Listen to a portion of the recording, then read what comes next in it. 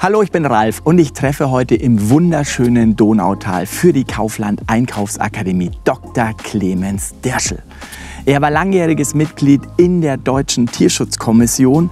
Außerdem ist er Experte für Tierwohl bei Kaufland. Was hat es mit den Haltungsformen beim Fleischeinkauf auf sich? Woran erkennt man, wie die Tiere gehalten werden? Und welche Entwicklungen gibt es beim Thema Tierwohl und Haltung, sowohl im Einzelhandel als auch bei den Landwirten und Landwirtinnen? Darüber plaudere ich heute mit Clemens. Ich freue mich auf ihn. Kommt mit. Hallo Clemens, schön dich zu sehen. Hallo Ralf.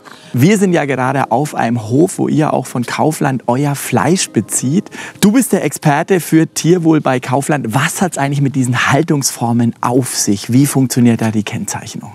Die Haltungsform signalisiert für den Verbraucher, wie die Tiere gehalten werden. Und das sehen wir dann in vier verschiedenen Klassifikationen. Und welche das genau sind, gucken wir beide uns heute an.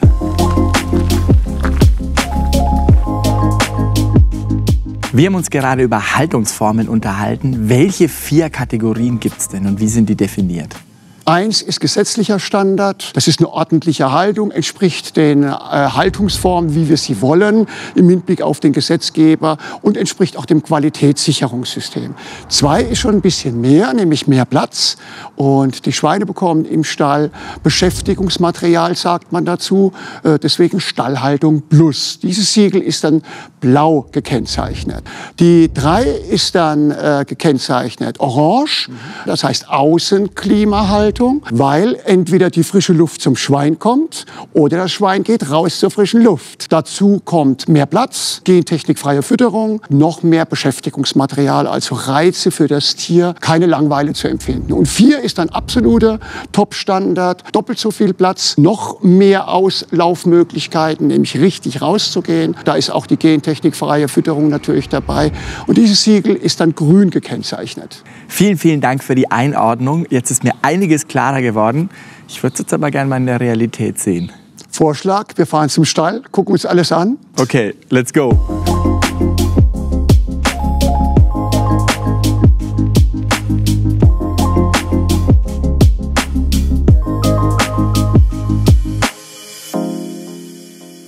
Jetzt sind wir da. Jetzt ist mir erstmal heiß. Clemens, du hast mir erklärt, dass bei der Haltungsform 3 das Außenklima eine wichtige Rolle spielt. Kannst du mir das hier vor Ort noch einmal erläutern? Ich kann dir den ganzen Stall zeigen mit Außenklima. Und das Besondere ist, hier haben die Schweine auch mehr Platz. 40 Prozent als gesetzlich vorgeschrieben. Das gucken wir uns jetzt mal an.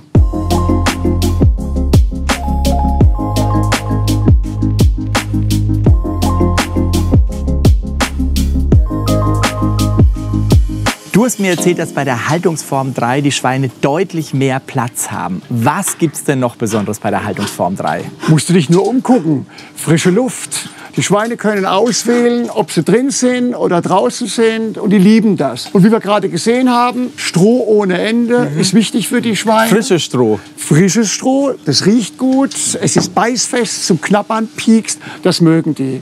Und dann finden wir noch einen Jutesack oder ein Baumwollseil, organische Materialien, mit denen die Schweine sich beschäftigen können, drauf rumknappern können. Wichtig ist, Schweine sollen keine Langeweile haben. Warum bietet ihr bei Kaufland eigentlich noch Haltungsform 1 und 2 an, wenn euch das Tierwohl so am Herzen liegt? Das ist ein Prozess, der kontinuierlich weiterentwickelt wird. Innerhalb unserer Eigenmarken haben wir Haltungsform 1 zum 1. Juli gänzlich ausgelistet, umgestellt auf Haltungsform 2 mhm. äh, als Standard.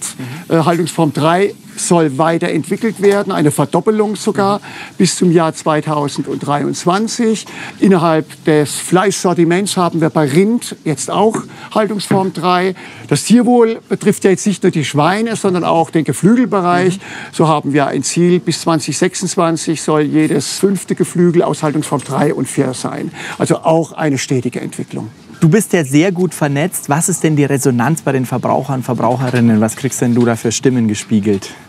Also wenn ich draußen in den Filialen bin, mit den Fleischtheken rede, merken wir auch, dass das Thema eine größere Relevanz bekommt. Und wenn mir dann die Leute an der Theke sagen, dass jeder dritte Kunde inzwischen wissen will, aus welcher Haltung das Fleisch ist, wo es herkommt, dann ist es ein Signal, dass wir auf dem richtigen Weg sind. Wenn wir beide schon mal die Chance haben, bei einem Landwirt zu sein, der Kaufland beliefert, würde ich natürlich mich gerne noch ein bisschen mit dir umgucken, wenn ich schon so einen Experten an meiner Seite habe. Dann marschieren wir mal los. Let's go.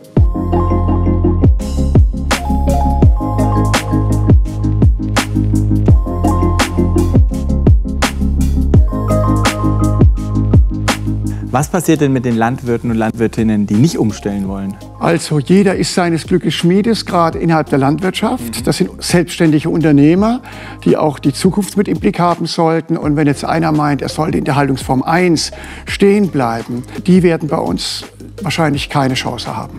Das finde ich eine sehr, sehr gute Entscheidung. Wie wird sich denn der Fleischkonsum gesellschaftlich weiterentwickeln und was trägt der Handel dazu bei?